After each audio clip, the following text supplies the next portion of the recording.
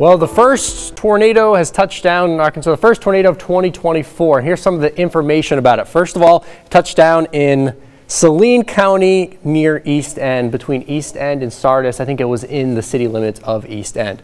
It was an EF1 with winds of about 95 miles per hour. It was only on the ground for about four minutes, but in that four minutes, it traveled two and a half miles and it had a damage path of about 500 yards. Again, just to the south of Little Rock, it was in Saline County near East End, got impacted by the first tornado of the year. The good news with that, didn't cause any injuries or deaths. That's always what we like to hear as far as tornadoes go. Not only did we see tornadoes or one tornado last night, we also saw some large hail in the area that's been hitting, getting hit with large hail over and over. Last June, if you remember, Garland County Hot Springs just kept getting large hailstones plummeted on them. And last night was no exception. Grace Cunningham sent in these photos of some at least golf ball sized hail. Some pretty big hailstones fell yesterday in Garland County.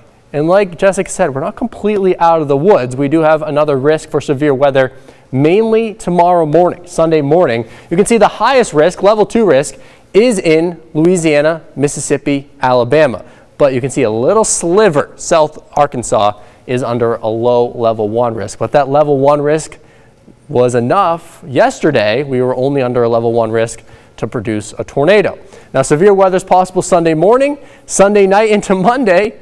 Winter weather will be possible. Winter weather advisories are in place for six counties in northwest Arkansas from 9 p.m. on Sunday until noon on Monday. That's all associated with the same system. It's bringing heavy rain over Arkansas right now. We're seeing moderate rain in Little Rock, heavy rain over eastern Arkansas, and that's going to continue throughout the evening. Notice we do see a little break in the action, and by Sunday morning, this is 6 a.m., maybe just cloudy skies, no rainfall, but look, bright reds and oranges moving closer to the state. This is, I think, when we could see that really low risk for gusty winds, maybe some small hail in far southern Arkansas around 10 a.m. on Sunday morning. Here in central Arkansas, no risk for severe weather, but your drive into church might be a wet one with heavy downpours and thunder and lightning.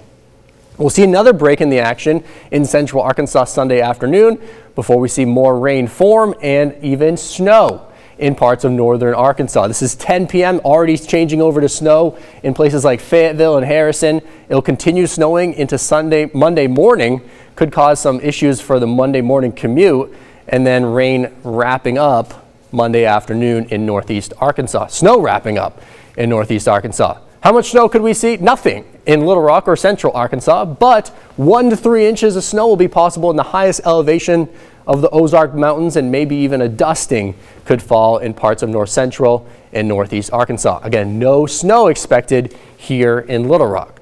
Right now in a dash heating, cooling, and plumbing tower camera, we got mostly cloudy skies, light rain falling 55 degrees, northeast wind around 7 miles per hour. Tonight, 40% chance of rain. We're kind of in a lull between showers and storms. 46 for a low temperature, but 30s up north. Sunday afternoon, not moving much, high of just 52 degrees.